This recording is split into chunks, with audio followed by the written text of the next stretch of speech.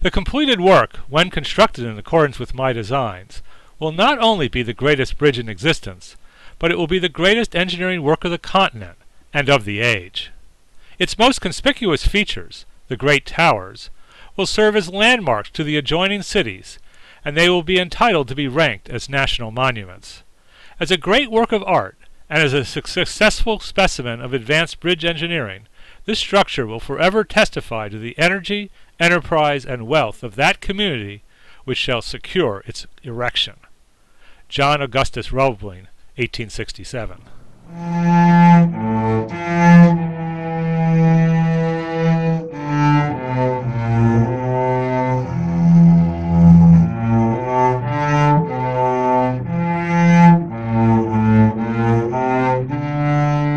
Originally founded by Dutch farmers in the early 17th century, the city of Brooklyn rests on the western tip of Long Island. For nearly 200 years after its creation, the city remained relatively small and had a population less than 5,000 people. However, a large population explosion occurred causing the population to skyrocket. By 1869, nearly 400,000 people lived in Brooklyn. Although the population was still only half that of New York, it was the third largest city in America. It was a major manufacturing center for important goods such as glass, steel, marble, whiskey, and beer. It possessed a seaport even larger than that of New York. In 1869, there was only one way to get to Brooklyn, the Fulton Ferry System. The ferries were operated by the Union Ferry Company, which had 13 boats traveling between Brooklyn and New York nearly 1,000 times a day. Let us cross in the Montauk from Fulton Ferry and survey the freight. There are 14 carriages, and the passengers are countless, at least 600. Onward she darts at headlong speed until, apparently in perilous proximity to her wharf, a frightful collision appears inevitable. The impatient Yankees press, each to be the first to jump ashore. The loud twang of a bell is suddenly heard. The powerful engine is quickly reversed, and the way of the vessel is so instantaneously stopped that the dense mass of passengers insensibly leans forward from the sudden check. Anonymous Englishman. The ferry business was extremely popular, mainly due to the fact that many people who lived in Brooklyn actually worked in New York. New York employed more than one third of Brooklyn's wage earners. Brooklyn was a more desirable city to live in than New York. Brooklyn had lower taxes, better education, and was home to the popular newspaper, The Eagle. New York, on the other hand, was overcrowded and expensive. With the need to transport so many people between the two cities, a simple ferry system was no longer sufficient. On April 16, 1867, a bill to build a bridge to cross the East River was passed. A private corporation, the New York Bridge Company, was put in control of construction and was given a budget of $5 million. In May of 1867, a man named John A. Roebling was appointed as chief engineer over the bridge. Roebling was given full authority over the design of the bridge. Roebling was famous for his bridges, and had created many strong suspension bridges in the past. Unfortunately, this bridge would be his last.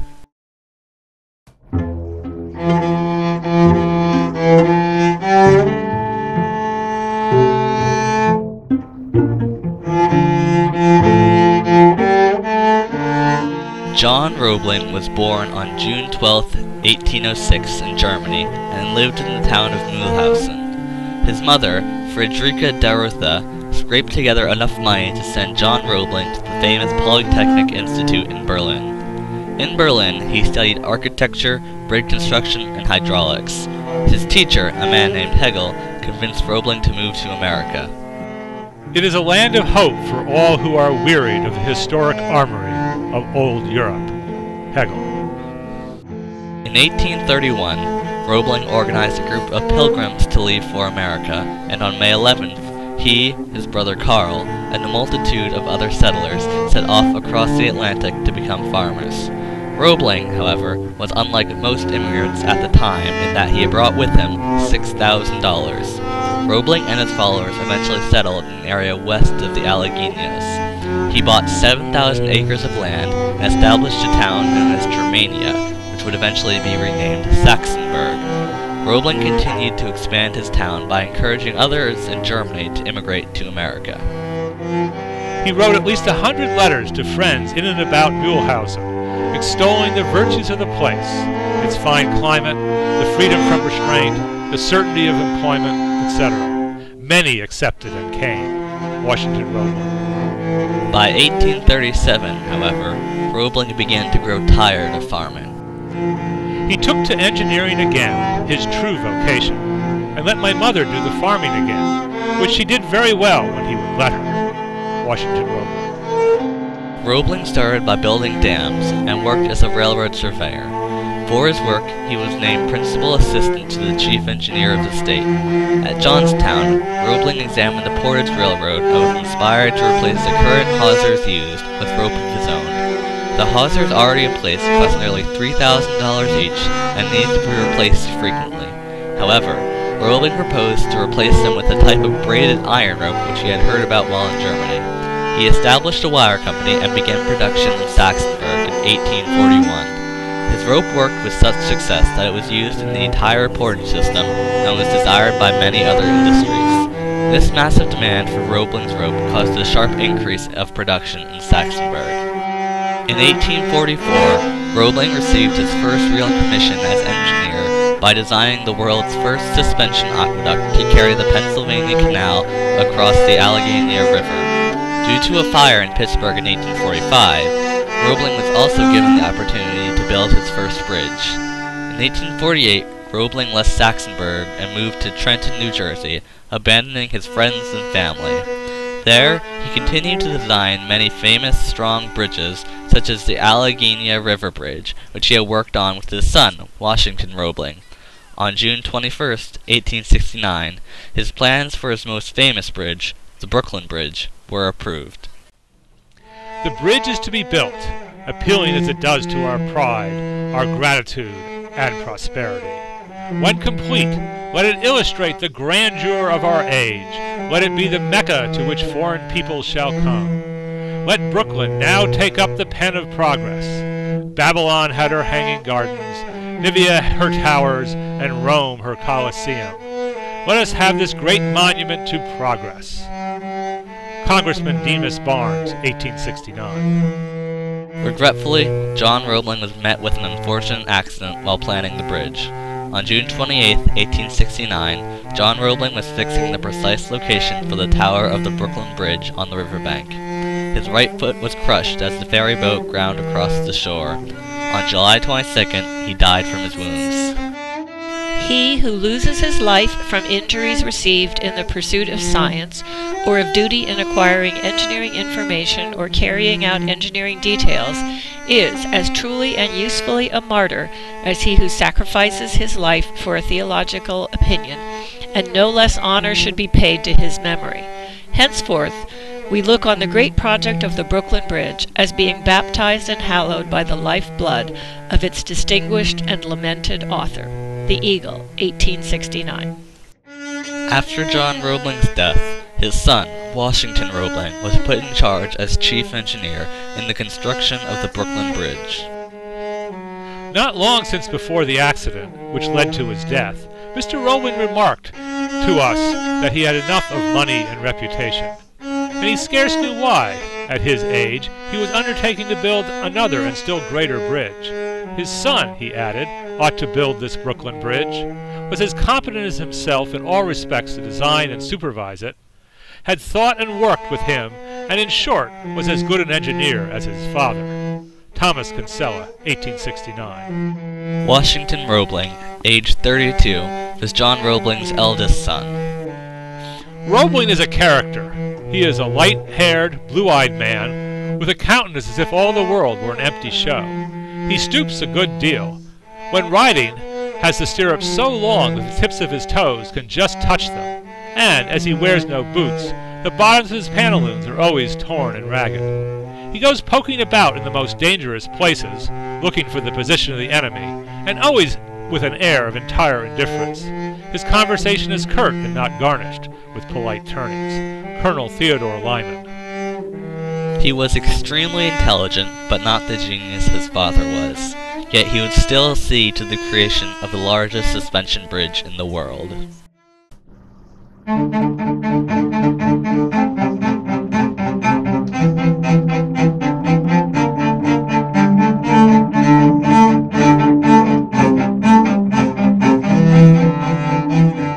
Major tool used for construction of the foundation for the bridge was the caisson. The caisson was a box, without a bottom, filled with compressed air. It would be sent to the bottom of the river and make it possible for men to go inside and dig out the riverbed. Upon reaching firm footing, the interior of the box would be filled with concrete, which would be used as foundation for the bridge tower. The caisson had been used in Europe as early as 1831. However, the Brooklyn caisson was bigger than any caisson ever created at that time. It was 168 feet long 102 feet wide, and had a roof of solid timber 15 feet thick. It was first launched on March 19, 1870. For three weeks past, a gang of 40 men had been at work in the caisson for eight hours every day, under the charge of Mr. Young, principally in leveling off and removing boulders which happened to lie under the frames and the edges. A deposit of dock mud from two to three feet deep has made this work exceptionally unpleasant. The dredges, which are now beginning work, will remove it in short time. The removal of large stones from under the shoe, some of them 100 cubic feet, is a matter requiring considerable skill and perseverance. Washington Roebling. Conditions inside the caisson were abysmal. Workers were down inside for eight hours a day. The temperature inside the caisson was extremely high, and foul odors permeated the air. The caisson required about 264 workers divided between two day shifts and a night shift. However, a total of 2,500 different people worked inside it before the project was finished. A hundred people quit every week. Irish, German, and Italian immigrants provided a steady supply of workers to replace those who left. It was not surprising that the project had such a high turnover. The work was not only unpleasant, but also dangerous. In an event known as the Great Blowout, a water shaft blew out, causing the caisson to withstand a force of 17,675 tons. The total settling that took place amounted to 10 inches in all. Every block under the frames and posts was absolutely crushed, the ground being too compact to yield. None of the frames, however, were injured or out of line. The brunt of the blow was, of course, taken by the shoe and sides of the caisson. One sharp boulder in number two chamber had cut the armor plate, crushed through the shoe casting, and buried itself a foot deep into the heavy oak sill. At the same time, forcing in the sides some six inches. In a number of places, the sides were forced into that amount, but in no instance were they forced outward. The marvel is that the airtightness was not impaired in the least. Washington Roebling, 1870. However, the blowout was not the greatest issue. Even worse was the fire. December 1st, 1870, the caisson caught on fire. The fire was started as the result of a worker holding his candle too close to the ceiling for too long. It was on the roof between chambers 1 and 2, where the inflammable oakum caulking was lacking. It was not discovered until 9.30 that night, several hours after it had started. By that point, the fire had burned through a great deal of the roof, sending the 80 workers inside into a panic. Even though there had been four to five fires previously, the men were not able to subdue this fire as easily. They attempted filling the cavity where the fire was burning with, wet rags, water, and tried using a fire extinguisher, yet none had any noticeable effect. By 8 a.m., Roebling realized the fire had burned too deep within the roof and ordered the evacuation of all the workers. By 10 a.m., 38 different streams of water were pouring into the caisson in an attempt to flood it and purge the fire. Eight were from a fireboat, five from tugs, and the rest were from fire engines. By 3.30, the caisson was entirely flooded with a total of 1,350,000 gallons of water. A few days later, air pressure was restored and work resumed. Soon after, it was discovered that the fire had caused leaks, which allowed the air pressure to escape. It required major repairs. The repairs were finished on March 6, 1871, and by mid-March all work with Brooklyn Caisson was finished. Despite the dangerous work conditions, no one had died and no serious injuries occurred. Yet this difficult, treacherous work was only half over. The New York Caisson had yet to begin its work. Meanwhile, back on the Brooklyn side, the tower was under construction. Even though it was above ground, it was still extremely dangerous. On the 23rd of October, a horrible accident occurred, causing the death of three men. On that day, an 8-ton block of granite was being pulled to the top of the presently 70-foot tall tower by one of the three huge boom derricks held in position by wire rigging. Abruptly, a guide wire broke, causing two derricks to fall from the tower. The first man died as a wooden beam sheared off half his skull. Another leaped off the end of the track to avoid the falling stone and fell to his death. The last was crushed by the falling mast of a derrick. Five others were badly injured. By June 1st, 1872, though, the Brooklyn Tower was a hundred feet tall. The New York caisson began its descent on September 11, 1871. At the foot of Roosevelt Street, where the New York Tower is being erected, one of the busiest scenes in the city is met with, and has been for months. Dozens of workmen hurrying hither and thither, with wheelbarrows and hods and spikes and shovels. Engines puffing at the side of the dock, drawing lumber from the foot of the pier, driving the piles of the cofferdam, and condensing and compressing the air to be used by the submarine workmen. Men chopping and planing and sawing the immense timbers used in constructing the enormous derricks. Others shoveling gravel and sifting sand for the cement. Little knots of threes driving immense piles through the heavy timbers of the caisson with their sledges, and kept steadily at work by an overseer who evidently enjoys his employment some wheeling cement for others to lay between the large granite blocks, boring and hammering and cutting stone and carrying iron rails, everything indicating that the work is being pushed rapidly forward. Anonymous New York Reporter, 1871. The work inside the New York caisson went far faster than the Brooklyn one, as it encountered very few large rocks. Instead, its major obstacle was sand, which was easily displaced. However, this caisson had to travel deeper to find firm footing, increasing the pressure. Roebling hired a doctor to ensure that his workers did not receive caisson sickness. His doctor, Andrew H. Smith, created a set of rules to protect the workers. 1. Never enter the caisson with an empty stomach. 2. Use as far as possible a meat diet and take warm coffee freely. 3. Always put on extra clothing on coming out and avoid exposure to cold. 4. Exercise as little as may be during the first hour coming out, and lie down if possible. 5. Use intoxicating liquors sparingly. Better not at all. 6. Take at least 8 hours sleep every night. 7. See that the bowels are open every day. 8. Never enter the caisson if at all sick. 9. Report at once at the office all cases of illness, even if they occur after going home. Andrew H. Smith. Smith observed and treated the workers who fell to the caisson sickness, also known as the bends. There are 110 cases of someone receiving this illness, including a young man named Harris. In the bare shed where we got ready, the men told me one could do the work for long without getting the bends. The bends were a sort of convulsive fit that twisted one's body like a knot and often made you an invalid for life. They soon explained the whole procedure to me.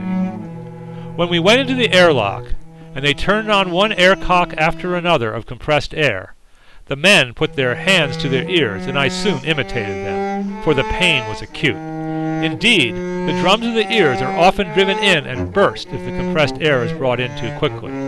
I found the best way of meeting the pressure was to keep swallowing. When the air was fully compressed, the door of the airlock opened at a touch, and we all went down to work with pick and shovel on the gravelly bottom. My headache soon became acute. The six of us were working naked to the waist in a small iron chamber with a temperature of about 80 degrees Fahrenheit. In five minutes the sweat was pouring from us, and all the while we were standing in icy water that was only kept from rising by the terrific pressure. No wonder the headaches were blinding. The men didn't work for more than ten minutes at a time, but I plugged on steadily, resolved to prove myself and get constant employment.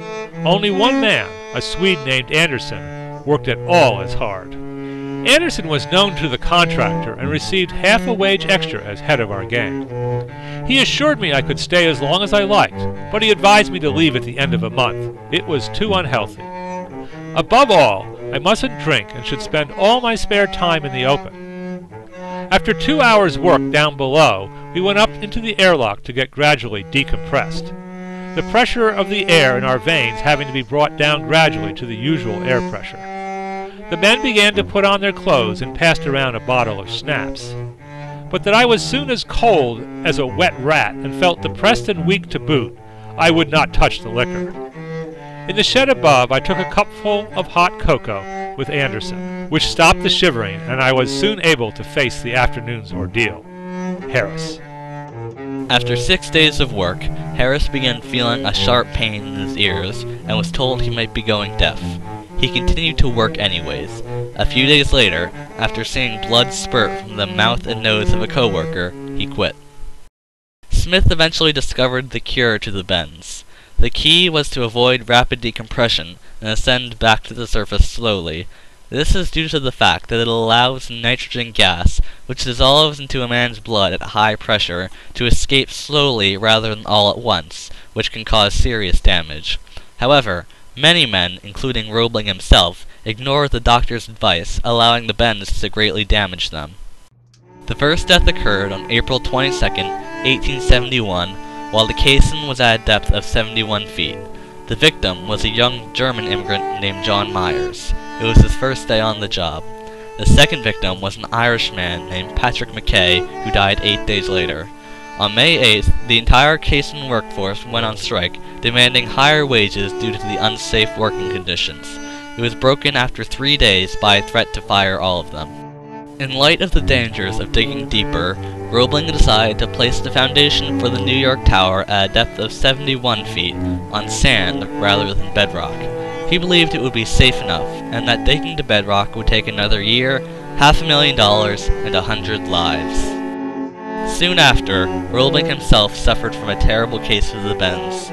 After a few days of rest, he went back to work, yet the attacks kept occurring for several weeks. Under his supervision, though, the New York caisson's work was completed on July 12th. Roebling ordered the work on the bridge to be suspended for the winter, and Roebling continued to experience massive pain from his time in the caisson. Doctors told him that he had very little hope for recovery, and he spent much of his time resting. With Roebling out of commission, the bridge would have to be done without the chief engineer being on site. However, he continued to supervise the work from his home and wrote specific instructions for his workers and his wife, Emily Roebling, who did a great deal of work for him. In early 1875, Roebling decided that the building must commence. I would further add now is the time to build the bridge. At no period within 14 years have the prices of labor and materials been as low as is at present. A rise of 10% in these items during the year is within experience of all, and is but little thought of. But a rise of 10% means a million in the cost of the bridge. To build now is to save money. Washington Roebling, 1875. By June of 1875, the Brooklyn Tower was complete. The New York Tower was finished in July 1876. This work was very unsafe, as a gust of wind could knock a man off a tower. Two men fell from the Brooklyn Tower in 1875, and another fell from the New York Tower in 1876. Another man died when his leg was crushed. One was killed by a block of granite, and another was slain by a falling stone. A dozen men died by the time the towers were finished. Numerous other injuries occurred. With the towers complete, the process of stretching 6.8 million pounds of steel wire between them could begin. The first rope was raised on August 14, 1876, but the wire used was not Roebling's. Even though it was the same type his father had brought to the country, the steel wire contract was outsourced to the lowest bidder, as some people on the board of trustees did not think it was fair for the chief engineer to be a bidder. In response, Roebling sold all 300 of his shares in his stock in John A. Roebling Sons, his wire company, to eliminate any conflict of interest. However, some members of the board did not trust Bessemer steel and instead wanted a wire made with crucible steel. Since Roebling used Bessemer steel, the wire contract was given to J. Lloyd High, a Brooklyn manufacturer. On Thanksgiving Day of 1877, a wire being used on the Brooklyn Bridge snapped. Although no one was harmed, Roebling was worried. Upon inspection, Roebling deemed the wire dangerous and worthless. On July 22, 1878, it was discovered exactly why the iron rope failed. The contractor, J. Lloyd High, was perpetuating a colossal fraud. High was supplying Roebling with weak, rejected wire from a strength test while keeping the good wire as factory for inspections. Roebling tested 80 rings received from High. Only five of them were up to standard. These inferior cables had already been worked into the bridge and were unable to be removed. Surprisingly, Roebling decided that the weak wire was of little consequence. His father had originally designed the bridge such that the wires were six times as strong as it needed to be. As an added precaution, Roebling simply added 150 extra wires to the bridge. Undeterred by the scandal, work on the bridge continued. The thousands who daily cross the ferries and look up to the lofty towers that rise on either hand above the water, and note the strands that stretch across the intervening space, hardly realize that the cable making of the great structure is nearing its completion. But such is the fact, and with a fair degree of success, by the time the cold weather sets in, we shall see the four great cables completed and ready for the superstructure or roadway of the bridge. It has been steady and patient work, wire upon wire and strand upon strand, through heat and cold and storm and calm. And now this branch of the great enterprise nears the end, and another department of the work of construction appears in the near future the Eagle. In September, the contract for wrapping wire was changed and awarded to John A. Roebling's sons. On October 5, 1878, the last wire was strung. With the most difficult work completed, Roebling could finally relax.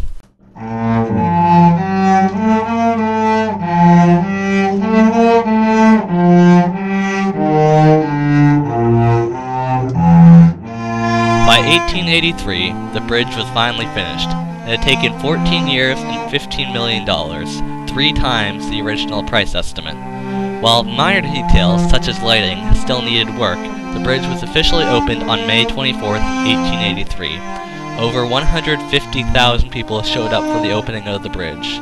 Nearly every business and school in New York was closed for the celebration. Even President Chester A. Arthur was present.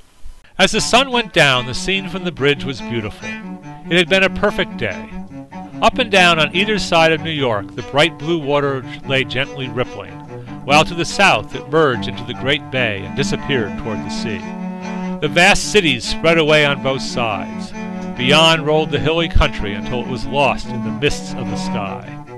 All up and down the harbor, the shipping, piers, and buildings were still gaily decorated.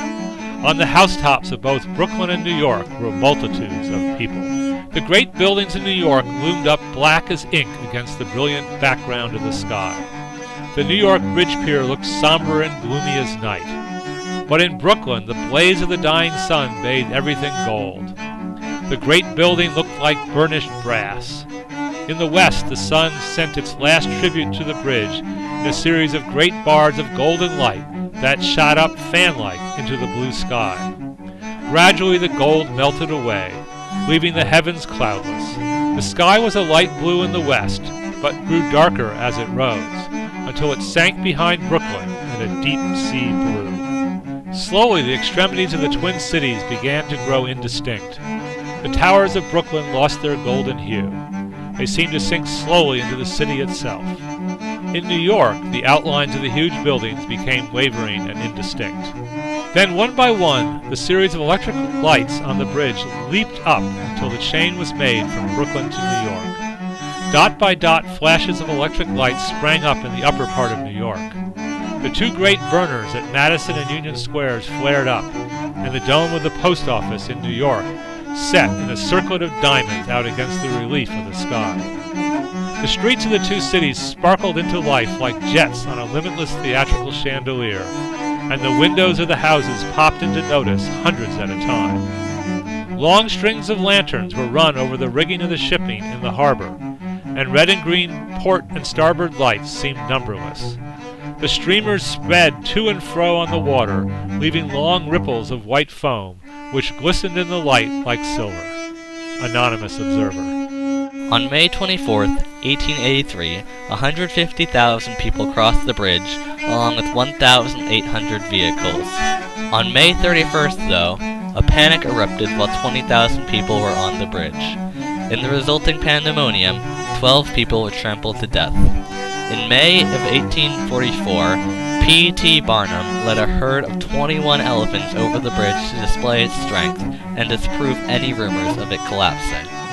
As a result of the Brooklyn Bridge, the city of Brooklyn was greatly improved. The bridge stimulated growth, raised property values, and offered an alternative to the ferries. It allowed wage earners living in Brooklyn to reach New York faster and easier. In the 15 years after the bridge was opened, Brooklyn's population increased from 580,000 to 1 million. But was it worth it? The bridge cost $15 million and took the lives of 27 people, including the original chief engineer, John Roebling. Many others suffered grave injuries, such as Washington Roebling. The bridge offered advancement for Brooklyn. At what price can one justify progress? Mm-hmm.